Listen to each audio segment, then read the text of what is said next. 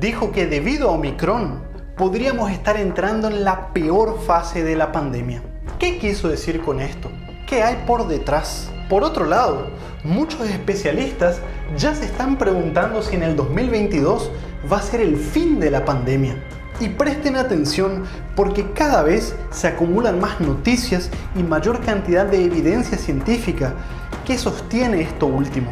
Hoy se los voy a mostrar. Hasta hace muy poco tiempo solo se veían malas noticias de la COVID-19. ¿Recuerdan? Muerte, hospitalizaciones, caos. Finalmente ahora la moneda se está dando vuelta y podemos ver la luz al final del túnel. Omicron ya está en todo el mundo y los reportes continúan siendo alentadores. Al igual que en aquel primer video que les hice hace aproximadamente 3-4 semanas. Esta variante continúa avanzando y al parecer, según los datos de Sudáfrica, Reino Unido, Dinamarca, Escocia, infectarse con Omicron resulta en casos más leves cuando se la compara con la variante Delta y las otras variantes eh, antecesoras.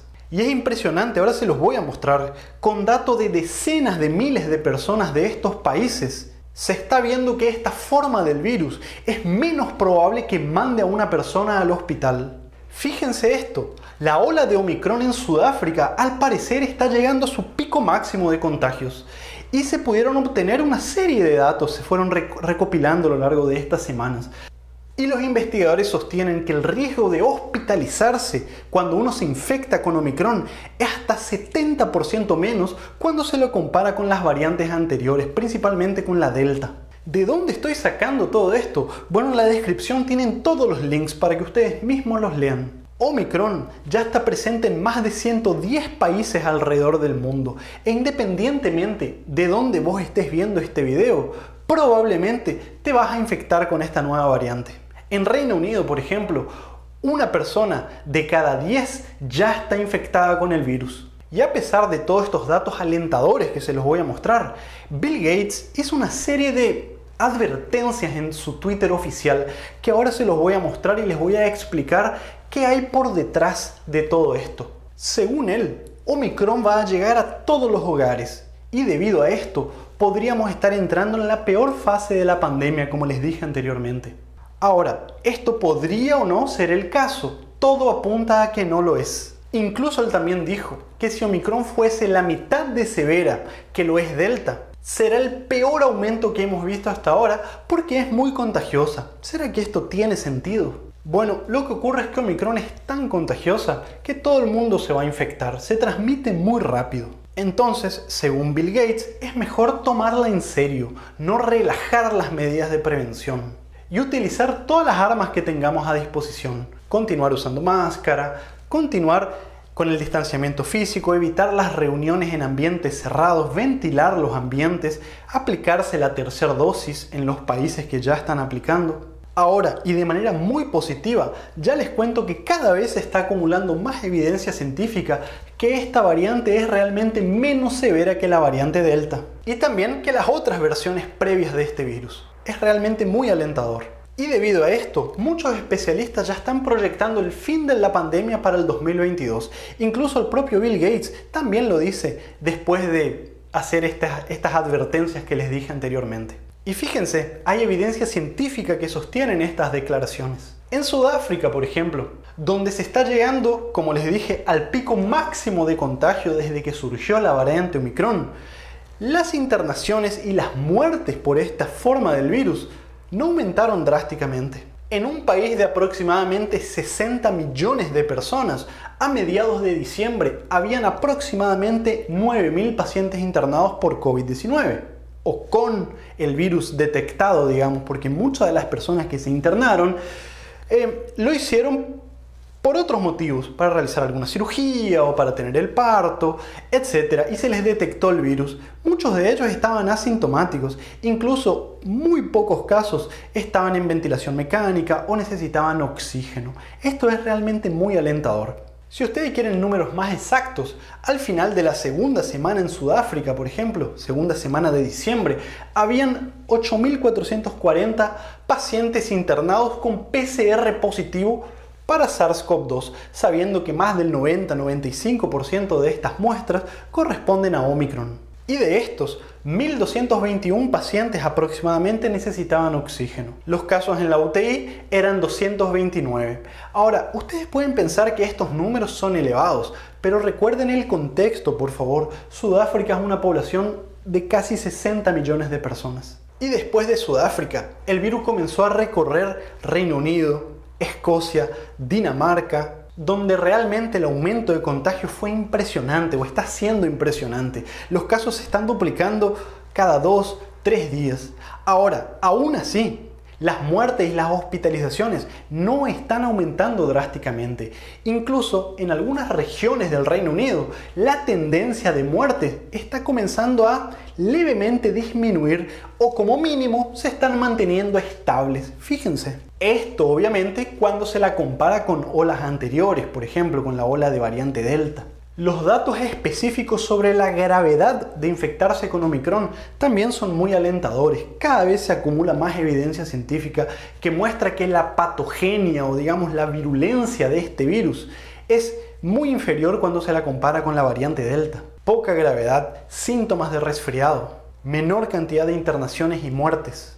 Algunos investigadores muy prestigiosos, incluso de la Universidad de Oxford, están diciendo que finalmente tenemos datos suficientes, bastante alentadores, para comenzar a dejar de tener miedo al coronavirus. Pero por otro lado, no debemos dejar de cuidarnos. De hecho, es el momento donde más debemos tratar de cuidarnos para finalmente terminar con esta pandemia. Fíjense este estudio, por ejemplo, en Inglaterra, que fue hecho con datos obtenidos desde el 1 al 14 de diciembre y compara el riesgo de hospitalizarse cuando una persona está infectada con la variante Omicron con una persona que está infectada con la variante Delta. Este análisis preliminar, que aún no fue debidamente criticado por los pares, por los especialistas, incluyó 56.000 pacientes con eh, infectados con Omicron contra 260.000 pacientes infectados con Delta. Y mostró que en general el riesgo de hospitalizarte si te infectas con Omicron oscila entre 20 y 40% menos cuando se la compara con variante Delta. Datos del Reino Unido en general también apuntan a que el riesgo de hospitalizarse si te infectas con Omicron oscila entre 50 y 70% menos cuando se la compara con Delta. Datos de Escocia muestran que el riesgo disminuye un 30% aproximadamente. Ahora, presten atención a esto. Según estos datos, el riesgo de hospitalizarse es mayor, bastante mayor, en pacientes que no están vacunados. Sigue existiendo esta tendencia, pese a la disminución de la severidad de la infección por Omicron. Y acá una aclaración. Omicron no discrimina. Él infecta a pacientes vacunados con dos dosis, podría llegar a infectar pacientes vacunados con tres dosis, aunque en una mucho menor proporción, pero el riesgo es mucho mayor en una persona que no está vacunado. Y este riesgo es mayor tanto de infectarse, contagiar a otras personas, principalmente las personas más debilitadas, hospitalizarse y también morir. Fíjense estos datos también que alentadores. Actualmente, en los lugares donde ya circula Omicron, si tenés secreción en la nariz o síntomas de resfriado, como si fuese un resfriado leve, un poco de fatiga, un poco de dolor de cabeza, secreción en la nariz, puede ser Omicron. En Reino Unido, por ejemplo, 50% de los casos de resfriado común es provocado por esta nueva variante. Esto quiere decir lo siguiente, si tenés síntomas leves, vos pensás que es una alergia, una leve irritación en la garganta o secreción en la nariz, por las dudas aislate, por las dudas consulta con tu médico, hacete la PCR o quédate aislado por por lo menos 10 días. Actualmente ya se está hablando incluso de disminuir el tiempo de aislamiento para las personas que están completamente vacunadas, principalmente aquellas que tienen tres dosis ya que estos pacientes tienen menor carga viral, se recuperan más rápido y contagian por menos tiempo. Omicron también llegó a Latinoamérica. Como ustedes saben, ya llegó a Canadá, Estados Unidos, Brasil, México, Argentina, etc. En Estados Unidos, si bien hasta por lo menos la semana pasada la variante Delta todavía era dominante, ya 45% de las muestras en pacientes con PCR positivo se debían a Omicron Los casos positivos ya se estaban duplicando cada dos, tres días, una tendencia muy similar a Reino Unido. Al comienzo del brote por Omicron en Sudáfrica, yo les había dicho que lo que ocurría en ese país tal vez se podría traducir a lo que va a ocurrir en otros países. Y realmente, los casos fueron leves, no hubo tantas hospitalizaciones y muertes en una proporción considerando el país y considerando las olas previas. Lo mismo aparentemente está ocurriendo en, en lugares de Reino Unido, en otros lugares de Europa. Y probablemente lo mismo ocurra en los Estados Unidos y también en países de Latinoamérica. El problema es que en América en general, incluyendo los Estados Unidos, hay mucha cantidad de gente que no está vacunada y esto preocupa muchísimo a las autoridades. Ahora fíjense, la pandemia podría terminar en el 2022. Esto también es sostenido por especialistas y también fue tuiteado por Bill Gates. ¿Qué hay por detrás de todo esto? Bueno, Omicron se está propagando, está infectando a todo el mundo y la ola podría durar algunos meses. Bill Gates puso en su Twitter que podría durar tres meses. Realmente no lo sabemos. Esto solamente esperando en las próximas semanas se podrán hacer una serie de cálculos para comprobar si realmente es así. Ahora, en este periodo, por más que la variante Omicron sea más leve y cause en la mayoría de los pacientes, sobre todo aquellos que están vacunados, síntomas de resfriado, el problema son las personas más debilitadas, los no vacunados, no sabemos todavía cuántas muertes puede provocar. Incluso un virus que causa enfermedad más leve, si infecta a una gran cantidad de gente, un pequeño porcentaje de este gran número de infectados podría representar colapso del sistema de salud. O sea, en esos meses que dura la ola de contagios, la cantidad de internados y de muertes puede o no ser catastrófico. Existen dos tipos de escenarios, el mejor de los escenarios y el peor de los escenarios. Todavía no sabemos para cuál vamos a avanzar, sobre todo en los países de Latinoamérica. Y esto no depende solamente del virus, depende también de lo que hagamos. Por ejemplo, además de continuar usando máscara, cubrebocas, evitar reuniones en lugares cerrados, etc., aplicarse la tercera dosis o las dosis que fueran necesarias. Por ejemplo, en Israel ya se está hablando de la cuarta dosis debido a la caída de los anticuerpos neutralizantes en algunos pacientes es fundamental para que podamos terminar con la pandemia en el 2022. Es posible realmente. Omicron se disemina más rápido que cualquier otro virus en la historia. Esto va a significar infección de vacunados, infección de no vacunados. Ahora, aquí existe una gran diferencia. Las personas que están vacunadas, que están inmunizadas contra este virus, todavía incluso con dos dosis y mucho mejor con tres dosis, siguen teniendo protección para las formas graves de la enfermedad.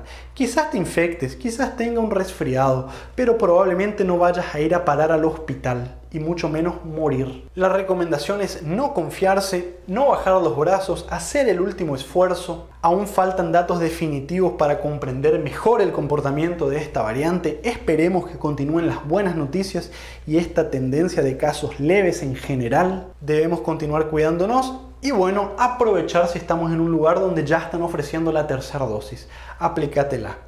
Yo ya me la apliqué, tengo tres dosis de la vacuna, mis familiares también se la aplicaron bajo mi recomendación personal y ninguno de ellos tuvo efectos adversos, yo tampoco tuve efectos adversos, a lo sumo un leve dolor en el sitio de aplicación. Espero que el video te haya gustado, resultado informativo, a medida que se vaya actualizando también actualizaremos todos estos datos, déjame tu comentario y qué pensás de todo esto y activa las notificaciones y suscríbete a nuestro canal, esto nos ayuda a seguir creciendo. Chau chau.